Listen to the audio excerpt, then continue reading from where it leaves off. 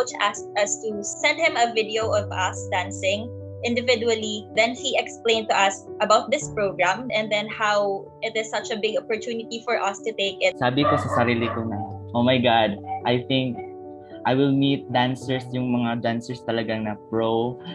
Sabi ko sa sarili ko na, opportunity na po ito. Through this platform po, I will be able to enhance my craft more and explore other genre through the help of the professional dance teachers po as a dancer, training at PDSP regional program is a part of my dream. I'm very thankful for that big opportunity that given to me. For me, it's a privilege to na makapagturo ng iba't ibang students na sobrang daming talent. Our teachers have been really kind and fun. I've been more conscious on improving my technique. I've also been so encouraged to perform, to release, it was hard at first because of that lack of connection, that lack of touch, the lack of hearing each other breathe. Very challenging, but in these times of pandemic, go lang ng go. Though we are stuck within our walls during this time, I believe this pandemic is not a hindrance for us to keep doing what we love, which is dancing. You know that feeling when you see a student who's really eager to learn. Tapos parang you get that feeling that mas willing kang magturo para sa kanila.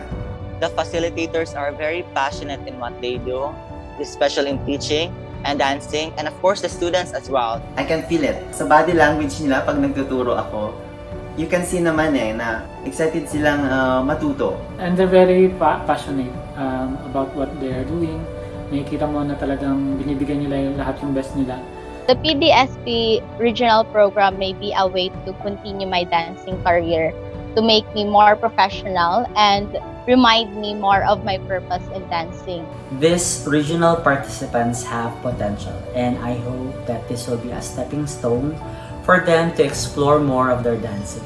I really hope that I gain lots of knowledge to improve and build myself more as a dancer in order to share to other aspiring dancers as well and to become just like what I've said an instrument to widen the dance culture here in our province and maybe in the nation someday.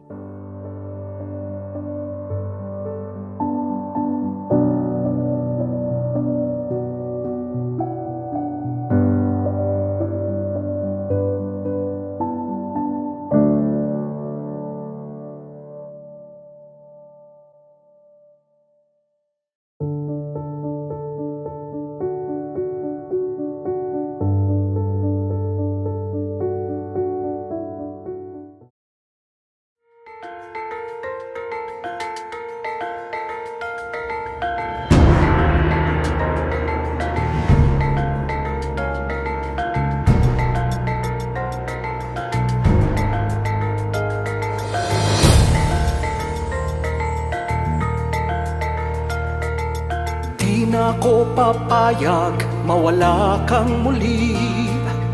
Di na ko papayag na muling mapawi Ating kalayaan kay tagal na nating mithi. Di na papayag ang mapawi muli.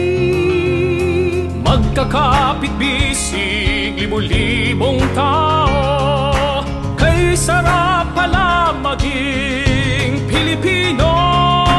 Sama-sama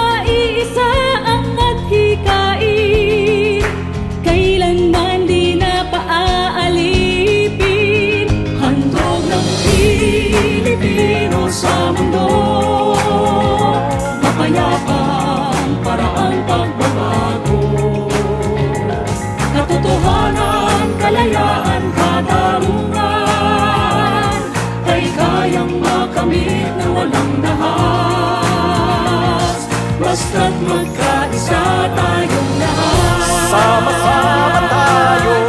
Sama-sama. Sama-sama tayo. Ikaw at ako. Basta nang nagaganap sa aming bayan.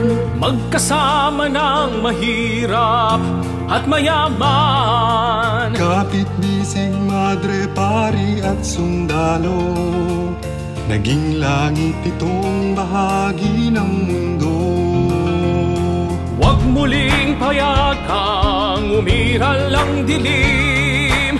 Tinig ng bawat tao'y bigyan ng pansin. Magkakapatid lahat sa Panginoon.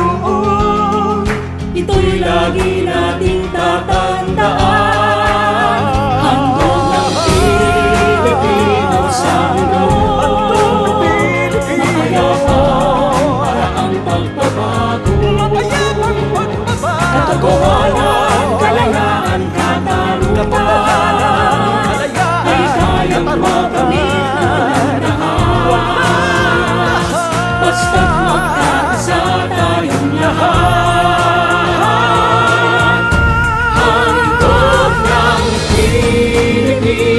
sa mundo Mapayapang paraang pagbabago Mapayapang pagbabago Katotohanan, kalayaan, katarungan Ay kayang makamit na walang lahat Basta't magkansa tayong lahat Handog ng Pilipino sa mundo Mapayapang